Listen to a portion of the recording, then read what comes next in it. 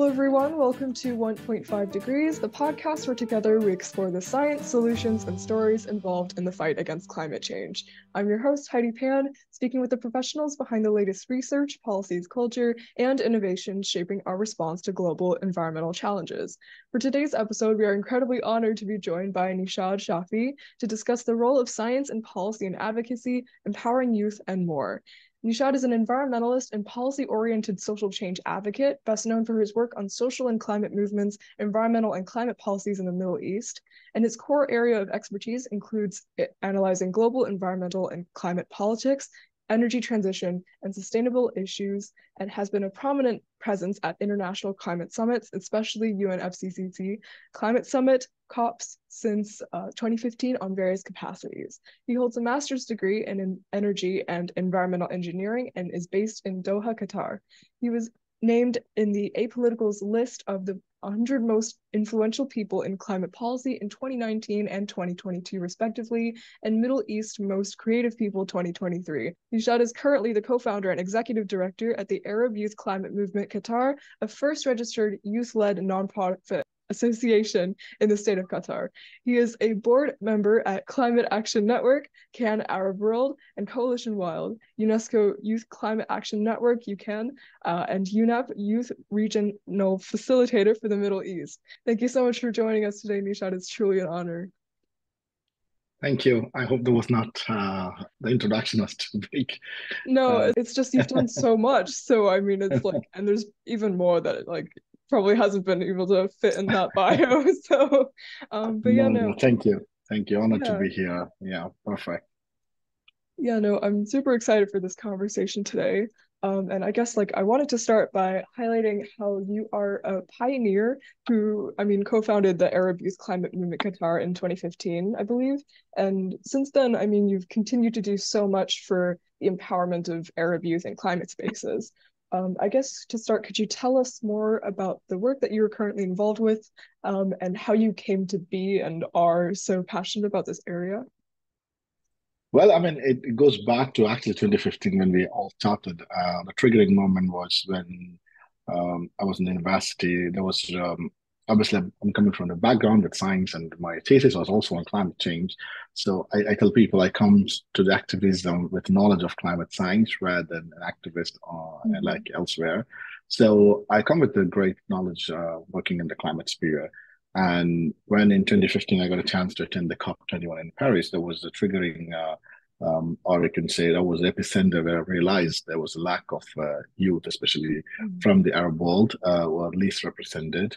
Uh, because when I tried to turn to discuss sort of climate issues and what are youth role at that point of time at COP in Paris, uh, I found none to discuss. And it was like uh, members from the civil society, but are far elder to us. Obviously, they are also necessary, but the whole concept of youth was not very particularly uh, common to this part of the world. Unlike I saw a lot of people from the global north, uh, you know, so it was the moment I realized that a, region which is mostly impacted by climate change is underrepresented by the generation who will actually feel the brunt of climate change. So that was a sort of um, movement, um, I would say, trigger for me to come back and really start the Arab Youth Climate Movement in Qatar. Even though we say we started in 2015, Arab Youth Climate Movement was a youth club because we were at university, and we then moved into a more legit organization only in 2018 where when we got registered as an association here in the state of Qatar.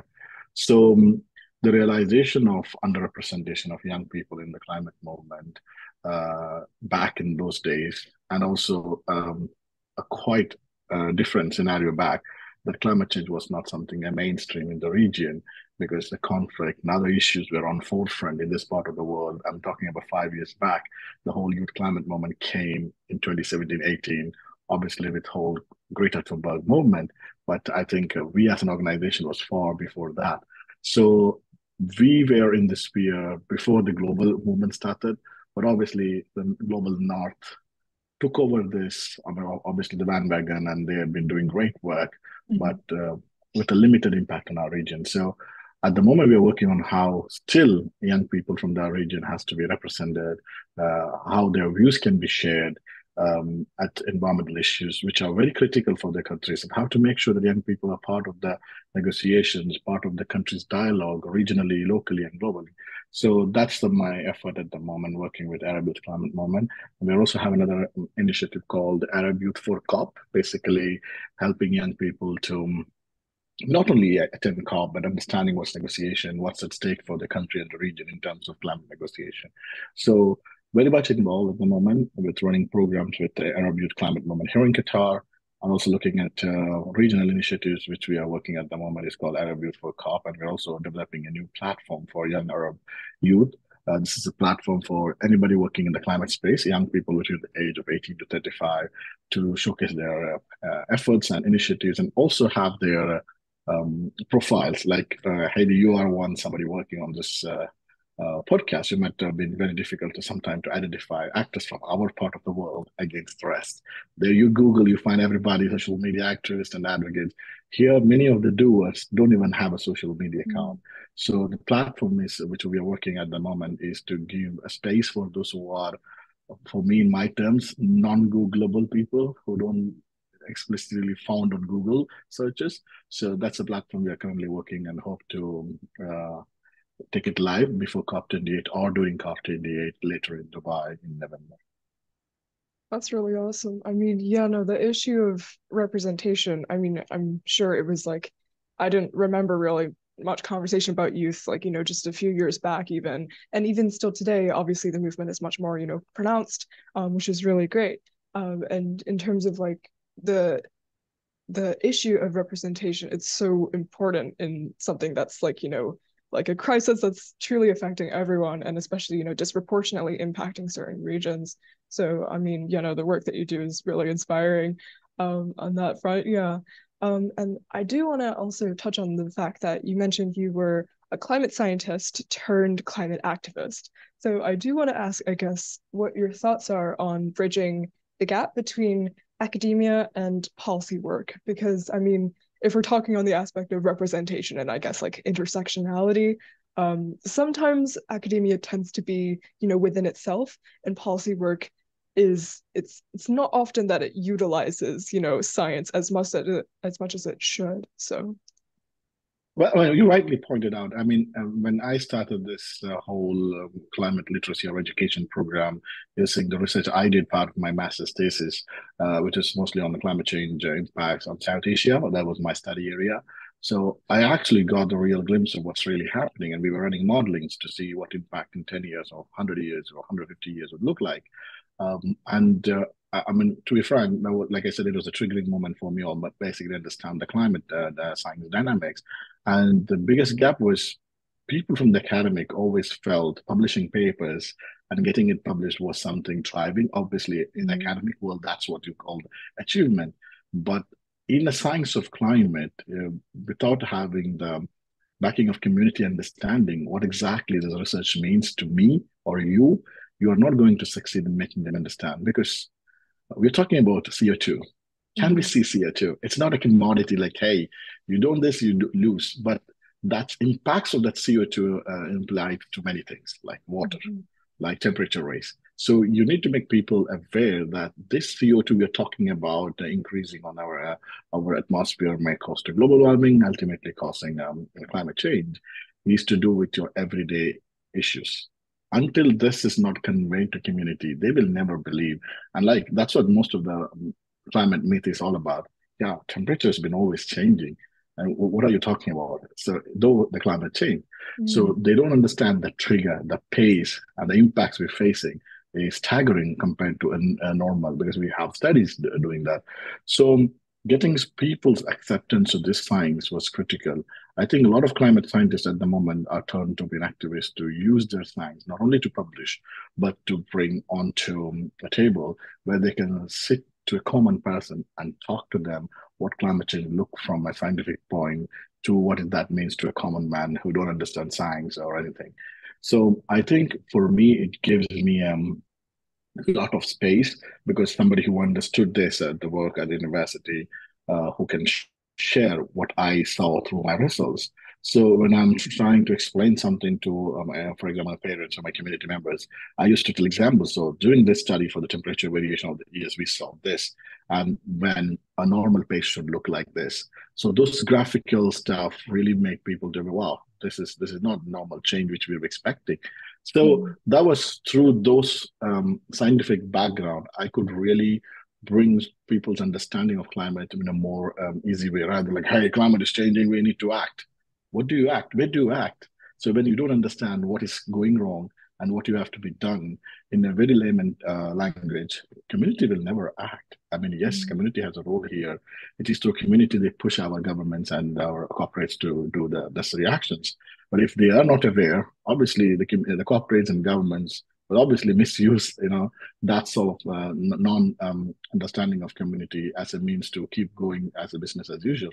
Mm-hmm. So it is very important how we take science from the labs. To, for me, for climate scientists, it's mostly on the computer labs or modeling labs to mm-hmm. real-time data to showcase to the community that whatever we are talking about, this is how it looks in numbers, and this is how it looks to your your personal life. So unless you don't bring that emotional or human aspects of climate science, I think people would really don't act. And at the moment, this is happening in a very fast way, and that's why we see community acting in different part of the world. So I think this is a, a better way to uh, talk to community because people understand science when it's spoken with layman's terms. Yeah, no, I mean that's a really important point that you make in terms of like the accessibility of science and you know making sure that that gap is you know bridged in an accessible way uh, is so important to you know getting people onto the like past the threshold of being able to get involved with this. I know in my personal experience, like it was, I think I came across like a TED talk. I can't really pinpoint, you know, when I started this, but I mean, I wouldn't have gotten involved in this certainly if I hadn't, you know, been aware of this issue. And I mean, the the aspect of climate education, it really needs to be built within the systems that, you know, like like within our school education, like that needs to be a part of the conversation in order to spark, you know, change as fast as possible. So that's a, that's a really important point you make. Yeah, I mean that's that's a good point you mentioned, Heidi. The problem is our education system still lack that sort of bringing that curriculum about climate and environmental mm-hmm. issues. We have a pretty much very outdated uh, discussions about the environmental issue, which is you know don't use plastic, recycle, and that ends up there, mm-hmm. and that concept has not changed. I think this is somewhere where the um, some of the institutions in every country. I hear I hear some of the countries have been doing, but for me, at least in our part of the world, it's not yet. Where two of the two ministries, like Ministry of Environment and Climate, are working with the Ministry of Education to bring those modules to schools because in order to community to act, you need to bring this the minds of the younger generation they're the one who's going to be learning mm-hmm. faster. It takes for me a 30 minutes, one hour lecture in a school to, to talk about climate change to young people against one day to talk to my parents who really don't understand this concept in a very easy way. That's the difference between you know the psychology of a young aspiring generation against somebody who haven't heard about this, uh, the the minimal information that they, they see on the media. But young people are being fastly approaching, reading, trying to understand the concepts, etc. So that's why it's very important that we target the education system. It will be very critical how we bring science of climate to educational systems in every country, and that would be really a game changer. No, for sure. Yeah. Um, I mean, in and also I guess like bridging those intergenerational gaps, I guess what are some things that you've learned um that you think like everyone should be aware of? Well, I mean, th- this is a very important thing, and intergenerational uh, discussions have been something we've been very keenly working in here in Qatar with Arab Youth Climate Movement. Uh, when we did an event, which was not, it was a tool we have, which is called a carbon footprint tool. It's a project mm-hmm. asset we started in 2021. Uh, we developed the first of its kind carbon uh, measurement uh, application, and we uh, tend to take this to schools to students to measure their carbon footprint. So what we did was after one month of doing this sort of survey to know individual carbon footprint we told the students from selected schools to come with their teachers and parents to our intergenerational workshop. So what we tend to show is that we ask each student like what was your carbon footprint measured show us and it showcases your carbon footprint from which aspects from your food or from your daily expenses, daily travel, whatever it is. So when we were discussing this, we brought in parents like, hey, um, you had a life. Obviously, we live in a very tropical, sunny countries. You know, our temperature normally hits 45. We thought it would, uh, you know, much impacts uh, our summers are looks like climate change mm-hmm. all the time plus with the climate change it is getting worse and worse mm-hmm. so we used to ask the parents like hey your generation how did you um, survive because now the biggest survival of our part of the world is mostly air cooling systems, which keeps us safe indoors. But outdoors are super sunny and humid now. At the moment, we are hitting our summer, summer temperatures already 45, and this is just the beginning of our summer. Mm. So we used to ask our parents, like, there was time in this part of the world really didn't have air conditioning systems like my grandparents, and then they're only having like fans or little little motor run fans and stuff. So it was sort of an eye opener for many of the young people who are born of this generation. Where like you know we have a sophisticated system to live and have a better life compared to uh, other unfortunate uh, people. But we compared how the parents sees what the fortunes they had against their kids in this generation and try to bridge them like see even though the resources was limited back in age people were more um, um, environment conscious like use less water recycle mm never use plastic compared to our generation who are not very into this because uh, they feel this is sort of uh, uh, things are um, part of their life because they are used to these things. Getting a plastic from a supermarket is quite used to because you've been doing that after after again and again. So I think the workshop was a huge eye opener because we had almost 30 students and 30 parents attending. Mm. And we tried to tell each parents what they did in the past against their, their new generation of kids doing. So even it was an eye opening for kids to learn that their parents who had a, a different ecosystem or environment were more environmentally conscious than us who've been also vouching for climate impacts and environmental issues, but were far better doers than us. So it was nice conversation, and we we, we believe that this sort of uh, discussions really open up, um, you know, larger community engagement when the parents understand, your grandparents understand to the students. So this will bridge the community, uh, what you call the communication gap between the generations, and also this will bring that some of the good practices we used to do in the past so in our region, you know, conserving water was something very important considered because water was very precious because uh, we we have lack of drinking water. Now, of course, we have desalinated water everywhere, but people are not mm. conserving; they waste it. Mm. So the parents telling that you know we used to save in the um, the pot made up for mud because it stores for a long time and cleans the water automatically than the cleaners we have right now for water purification, etc. So it was a great learning lesson, and and that sort of uh, discussions are also important um, in any country uh, based on uh, wherever you are living, comparing your inter, uh, intergenerational, and also not restricting to parents, but also going to change maker uh, to the to the governments, employees, from uh, decision making people. They how do they see or how do they mm-hmm. perceive mm-hmm. these things are also very important. Yeah, no, I mean, there's very different, like you know, skill sets and knowledges and experiences based on like you know your your generation. And so we need all of that you know in the in the conversation and, and in solutions for sure. Um and so you also you know you work in like MENA regions. So i guess like i wanted to ask what are some underrepresented challenges that the global south and in particular middle east regions uh, like qatar are facing that everyone should also be more conscious of I mean, uh, the, one of the huge thing is um, when in terms of representation, we see very uh, minimalistic representation. I mean, uh, for many, for me personally, since 2016, 17, or 18, until 2020, I should say, um, would say until 2021, the, the Madrid COP. I mean, it was very few, including myself and a couple of people, are only the known climate advocates in the region. Obviously, we were fortunate even to get this sort of media attention and support for our work but they tend to forget a mass number of people in some of the countries which are failed states, for example, in Yemen or Lebanon or Libya or Iraq, or Syria. So the countries which are failed state, but they're all having the impacts of climate change, which are worse than us because they don't have a uh, working government working on them or supporting them. Communities are um, um, going through worst impacts and recovering from the war and stuff.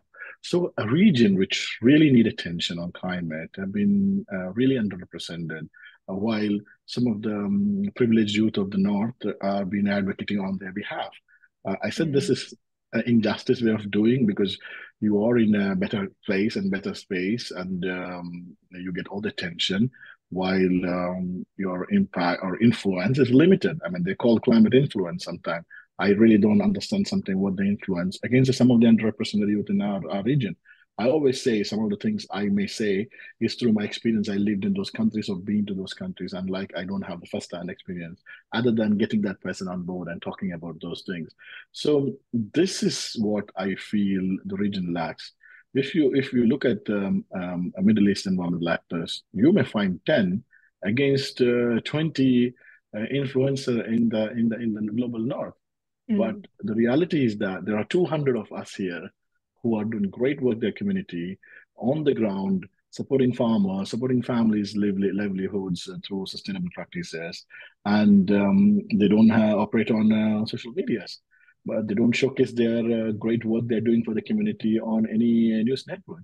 So I think we we we lack the media attention, and it goes to again very few privileged ones in this region compared to larger media attention goes to a lot of global north organization and it is still happening i wouldn't say mm-hmm. uh, that oh this has changed young people from arab region are represented again the privileged arab youth are represented the, the larger number who are the great for me i would say they are the on the ground doers are still mm-hmm. underrepresented and mm-hmm. the, the fact is Heidi, they're the one who are really facing the day-to-day climate impacts we're talking about because they feel it and they see on an everyday thing compared to obviously some of the activists in the global north try to watch for them, which is which is important as well.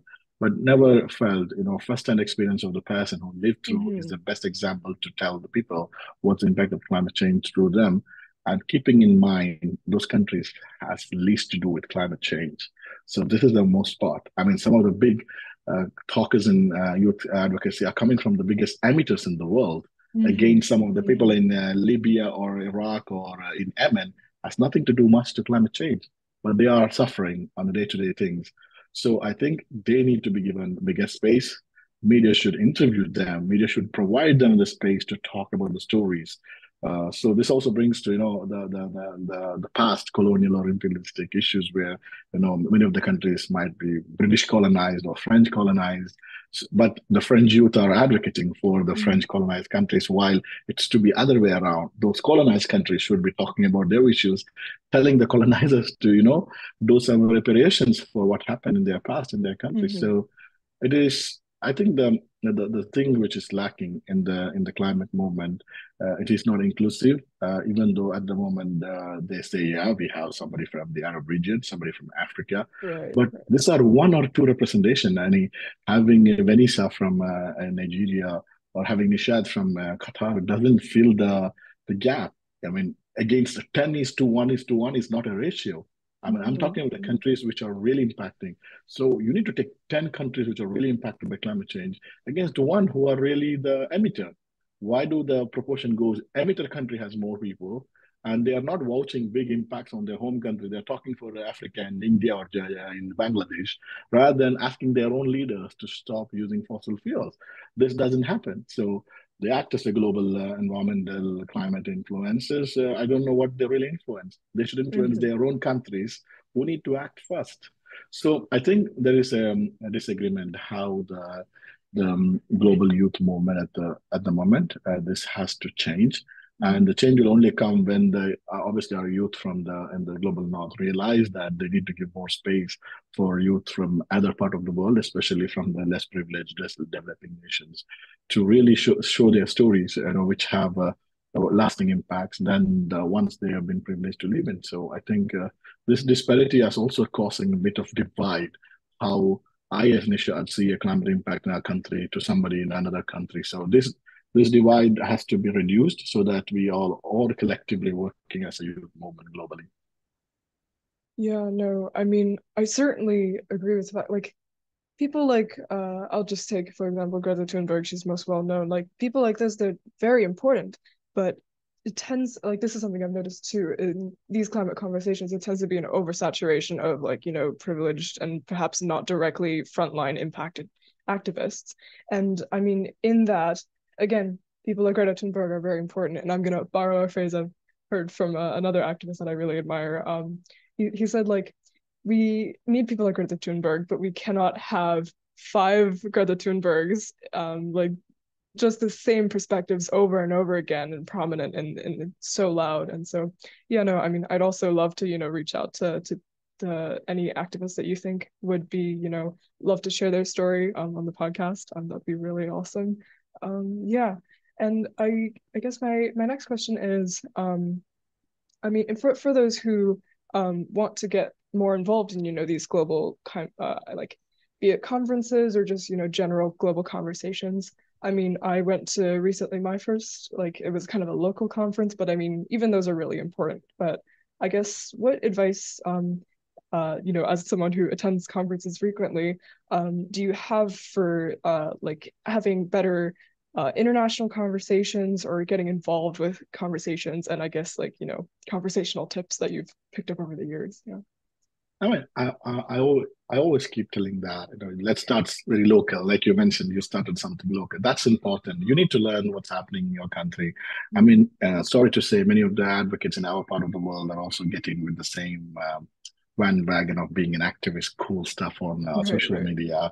So it's important to understand what's the climate change happening in your country, which are the uh, main areas of impacts your country, which communities are on the vulnerable part, how about the uh, what's your country's response to that? What's your national uh, determined contribution, which is NDC submitted to UNFCCC talks about?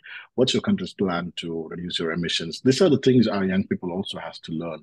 I mean, for me, activism is no more uh, marching on the street. Yes, it is important. It brought the, it did brought highlights and it brought the attention of the world. I think, um, like you mentioned, uh, yeah, we have Greta Thunberg, and I also like Greta Thunberg because she also left a gap since last year or so, giving space for other people because she was too much uh, uh, given the um, what you call um, uh, attention, which mm-hmm. means mm-hmm. that many others lost their attention. So I think uh, nowadays everybody want to be a Greta. In that fight, they forget what they're really looking for, and uh, attending an event or conferences is not the priority. I mean, for me, it took two or three uh, big summits to understand what's going on because there wasn't any resources to learn now there are a lot of resources and documents and videos or experience sharing workshops given. I think you should start with there and then with the great knowledge you attend and bring that knowledge back to your community or your school or university or your clubs or your environmental association organization. And this has to be you know work in a decentralized way you know not just going there and then you keep going and learn doing nothing rather than you know, it should be a learning opportunity for you to go and you know it's not easy to attend and come back. It can involve calls, badge, travel. So when you go, you're you are that representative of your community or your region mm-hmm. or your country. So what you should do is you, you you need to be an advocate for them. So you you go with the big bag of wealth you have of your country and you share there with your other activists, advocates, researchers, policymakers, UN agencies to tell what's happening. I mean, at the moment, uh, um, myself, I don't see a lot of people doing that now. Now it becomes most like, uh, yeah, I need to attend an event. Like I used to ask, like, hey, what do you do back home? I'm just a student. I'm into climate, but I, I need to attend the conference. I mm. said, first thing you should do is join any club or organization, see what you can contribute there, then think of doing something high. But yes, uh, the whole social media uh, thing is actually uh, diverting you know young people's real attention to be a real change maker on the ground rather than influencing. Because i mean i am not against the influences of the global north because it works sometimes there. We are in a region where influence means nothing to the community. Mm-hmm. so it is important that you don't replicate things which doesn't work in our part of the world. Uh, the the biggest uh, um, impact you can do is to showcase your community by doing it, uh, establishing an organization, working through that, empowering youth in your country or region. This is when the community realizes your importance. Governments see you as a uh, doer on the uh, you know, on their country, and you're somebody who supports the national visions or etc. Unlike I what I see the trend in the, this part of the world, uh, thanks to our global north friend, everybody want to be a social media activist. Mm. I see what you do on ground. Yeah, I'm an influencer. I said, who you influence?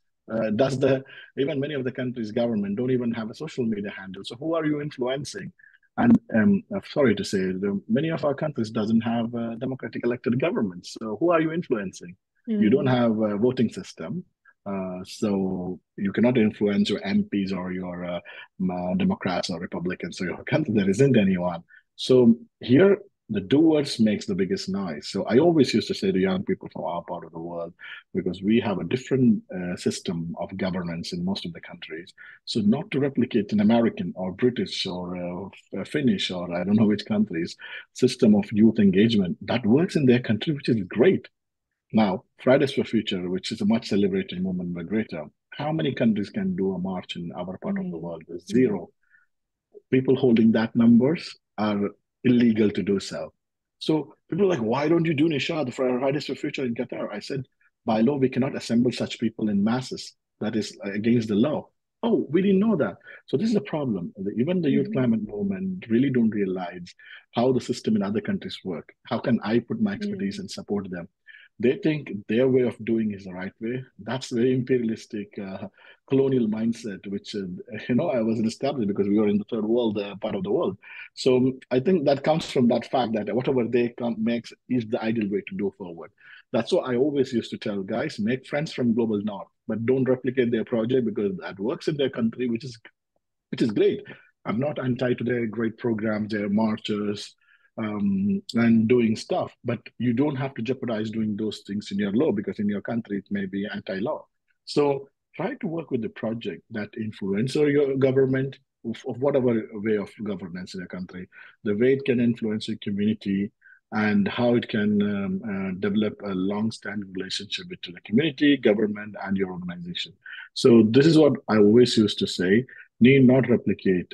Do projects within the realms of the law of your country, because here we are not fighting law. We are fighting to make sure that this uh, planet is livable for our generation in the coming years or decade. So for that, we need to collectively work. For that, you need to think and do it, not just uh, see something and just do it because they are doing it. I'm doing it now. That doesn't work. So mm-hmm. my advice has been always that try to bring up with projects or initiative that works in your country. Maybe I say something that works in Qatar may not work in Saudi. 100% will not work in Bangladesh, or it doesn't work in London, or in the UK, or in the United States, or in Spain. So try to bring that makes a sense for your government, um, that makes them listen to you and to your community. They be part of this. And obviously, you're targeting young people. So the target young people has to be part of your movement. So these are the main three areas I keep telling young people in our part of the region to, you know, implement, you know, not to get carried away with this uh, global north social media trend of activism, which is great in their part of the world, but our part of the world, it doesn't work. Mm, that's that's a really good point to make. I mean, a lot of young people, at least uh, in my community, tend to think that the only way to make real impact is you know work at the national like international level at the top. But i mean working i, I was curious like working you, you work at both the local and international level which is really important to you know stay in touch with the people that are actually going to be affected. So i mean it's kind of like we need both a top bottom and a bottom top right? Yeah Absolutely. I mean, uh, Hedy, you just touched to that point. Yes, now everybody, every young people want to work at a very global conversation. I mean, for me, I personally, I didn't end up in global um, at the first. I started at the local, learn mm-hmm. what's needed. And that's my knowledge. That's what I'm using at the international level now. But now people are not filling this gap and directly jumping to the top. So what they miss is the realities on the ground. Mm. That's why many of the youth, if you ask them, like, "Hey, I'm an activist from uh, Lebanon," Hey, good, good to know. How old are you? I'm 22 years old. Great. So what are you doing? I'm here for advocating for climate action. Okay, what's happening in your country? Oh, my country, I don't know, but I want to have global conversations. See, that's the missing thing. Mm. If every kid start talking about international conversations, it doesn't happen without the local one. Right, what is what is right. this, what is what is the global conversation when you talk, which is the highest one, which is the UN Climate Summit? What mm-hmm. is UN Climate Summit talking about? It's the talk about the document they will come out of 194 countries. And who are these? You're part of that one country. So if you don't realize what's your country doing, or at least to study some of the country you are interested, like you want to study about US impacts or Saudi impacts, or you want to study of UK impact. So you have to have the knowledge. Just going there advocating what you need, climate action doesn't work anymore. I'm of that generation where I used to say, um, so, sorry to say, it's still there. What do you need? Climate action. When do you need it? Now. This was quoted back in 2015 16 mm-hmm, era. Mm-hmm. And still, this is the chant happening with young people because, sorry to say, that means you haven't progressed. you haven't um, moved away from that sort of, you know, the change we wanted to look at from the youth point of or youth perspective. So the big big fact is that everybody is tending to jump into the larger conversation without understanding local. But it's important. Some people might be really um, coming with a great academic background, you directly jump into international con- um, uh, convers- conversations or negotiations, which is quite like you mentioned. There are they're required to be, but not that everybody will have to jump into there because oh that's the place everybody get, get, get attention. Uh, people on the ground, nobody gets attention. See, that's what I'm talking about. That's what you don't find media covering those people because nobody gives attention to them. Everybody's on the global level and everybody mm-hmm. gets attention. So, for the fact, this is actually uh, taking the youth movement in a wrong direction. And for me, for the youth from the region, which is already underrepresented, mm-hmm. many don't get up to that level because they have to fight the global north mm-hmm. youth. One or two makes it there. And they also been be sidelined there because they want to have uh, stories of people who have 2 million followers 250 follower million followers mm-hmm. against somebody who doesn't have uh, you know verified accounts. So this this this this is also you know this is not just one side of the story. This is another side of the story. Like media don't cover because there are not many young people. And what our young people are doing everybody want to go at the top. They don't want to work at the bottom.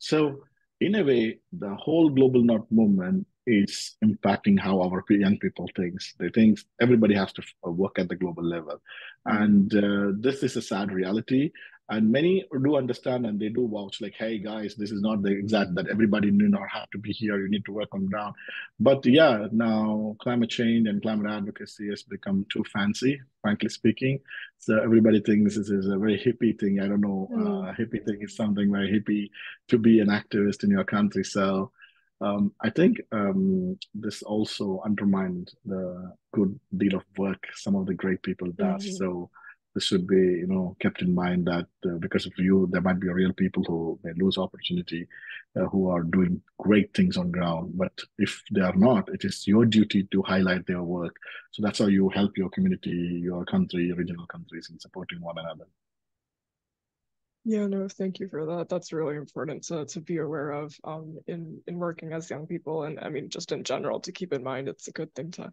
be aware of. Um, I do also want to ask, I guess, um, I mean, in, in talking about like local initiatives, you've been a part of so many. Um, and I mean, I guess, like, do you have any particularly memorable or favorite moments or like anecdotes or projects that you can think of that you've, you know, experienced in your career? Well, um, uh, we have this program which is very um, unique for our own way, uh, which is called Green Ramadan. So, you know, in Ramadan, we have this Muslim month mm-hmm. of Ramadan where we fast. So, we hosted last year's, uh, oh, sorry, this year, the first of its kind uh, Green Iftar. Uh, this is, means we had everything, uh, um, no plastic, plastic mm-hmm. free vegan food and stuff. We try to make sure that uh, this uh, has a least impact on the environment. So we called the community to join, and we were so happy to. It was so much celebrated, and people are really happy. And they said we need a lot of this kind because we we didn't do a speech there. We didn't do any presentation. People coming there realized that how this sort of things are very important from one point from the environment where like we were uh, asking them, hey, don't bring anything plastic, don't bring your food. We're gonna get you all the food here, and we used all the furnitures which are made out of re- recycled wood, um, and all the leftover food. I mean, ideally there was no leftover food. We brought in the right quantity because we have registered numbers. Whatever leftover we were given to underprivileged people, mm-hmm. and on top we we spoke. Uh, it was a space for people to talk. We brought community there, and they said. Uh, it was nice to stay away from uh, some activists talking on Instagram against I talking to you and telling, right, hey, this yeah. is great initiative. So it was a place for conversation around environment. And, and obviously for us, Ramadan is a very spiritual month, you know. So it was sort of, you know, brought that sort of um, communities uh, um, uh, I don't know, they were aspiring to have something like that, and we did it. And we were mm-hmm. so happy that it was so successful. We will be doing a bigger number. We already had like 50 to 60 people. Oh, wow, Next yeah. year, we're going to have a bigger event.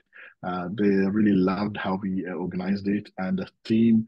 Uh, you didn't, so they were happy that it was not um, um, presentation, somebody talking about environment. Yeah, no, yeah. it was the setup. It was in a way that we were like, wow, I'm in a very green zone now. So it was really, really, um, yeah, it yeah. was really charming. It was an evening and it was really, really touched. And uh, we were fortunate to have um, uh, Ambassador of Mexico, Ambassador of, uh, Deputy Ambassador of the UK, and Ambassador of Kazakhstan, or their family joined us. It was, oh so you, you understand, it was not, and they, they, they didn't give any formal speeches. They were also here to experience that stuff and it was the first time. And even myself, I loved the concept of how uh, uh, you bring um, spirituality, environment, and community. Um, and like this is what I ask people to do: um, do it something that fits to your community and your country, or in the context what you want to do.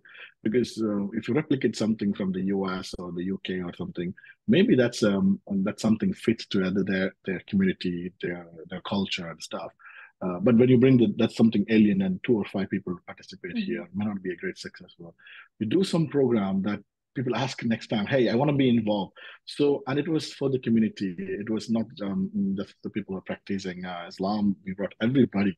Mm-hmm. So it became like a place of people of different diversity, different country, different religion, talking about environment without even these telling, hey, you're here for environment talk now they were here for a community iftar, mm-hmm. which is mm-hmm. completely green, and we called it as green iftar, and we will be uh, doing again next year with more community participation. So it was really uh, something I never uh, saw, uh, and we, we we just tried it to see how it looks like, and it was really really successful. And that was some a unique project I like. But we have other projects too. But this is something I was really moved by because no environmental talk, no speaker, no stage everybody on the same land, space to eat, uh, made of wooden carvings. So it was uh, a really moving um, engagement and also brought attention that how much community uh, uh needs such spaces to talk about mm-hmm. environment. Yeah, no, I mean, that's that's really awesome. I mean, that's I'm just smiling the entire time because I mean, I've like it's very unfortunately rare to have those community spaces to not have necessarily like you know like a top like a speaking at you. You're not really able to engage your own personal experiences into it. Um but to have you know like just maybe like a dinner conversation over food and you know talking about other things other than the environment. Because i mean the environment is a part of other things as well. It's not just you know strictly that. It's a part of subtly everything. So yeah no that's really awesome. Um and i, I do realize i want to respect your time. So i guess to to close off, um, could you, if if you could um, turn back time, um, you know, butterfly effects aside or whatever, um, and, and at any point, I guess, like at the start of whatever work you're doing now, um, what what is some advice that you might give to the version of you who's just starting out? I mean, uh, like I mentioned in my, my previous comments, um, I, I, want to start people very, very small and very on the ground. I mean, this is what we are lacking as a youth movement now. Like you mentioned in our conversation today, everybody wants to work at the top. I mean, you don't really reach there. But of course, if you are having that extraordinary talent, which I believe many young people have, but why don't you use that to your community? Work at that local level. Yeah. Of course, you can work at the both level, but my my request is to start very local join existing organization if it's already there or try to start your own if you feel that it is in the good space or good environment uh, for young people compared to any toxic environment. You can start something of your own. Start that local and bring more community to join you. Try to bring that aspiration why you started and why you want the community to join. And start that way. And so because it gives you a path. It's a, it's a part of learning. And you know for me like past five six years was learning from a very small organization mm-hmm. to someone what we are today. And that learning experience makes you an expert. And uh, now today people are not ready to or be patient to be that expert. They're like hey i'm out of the university. I'm a, I'm a, I'm a, I'm a specialist on climate now so that doesn't come. I mean, even I am, I would say expert, but there are some areas still I need knowledge, which I get from peers or uh, elders or who are our expertise on the um, subject. So you learn things. So there is nothing like you're an expert on day. But at this age, I think not everybody can be really an expert, but you have um, a knowledge of walking through that. At least you can share that knowledge.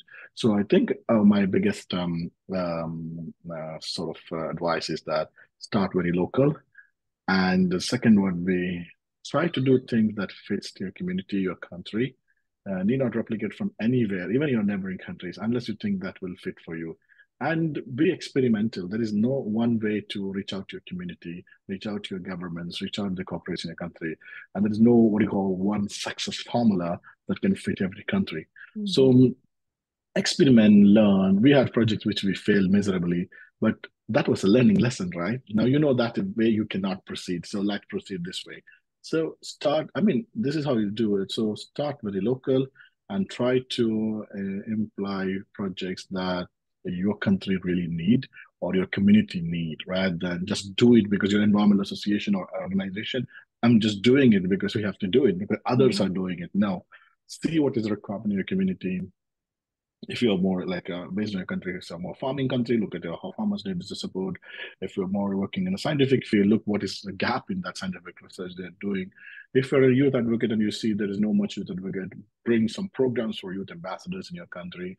So this is the way you engage. So do local, look at the requirements of the country, act based on that rather than just pulling it out something from elsewhere.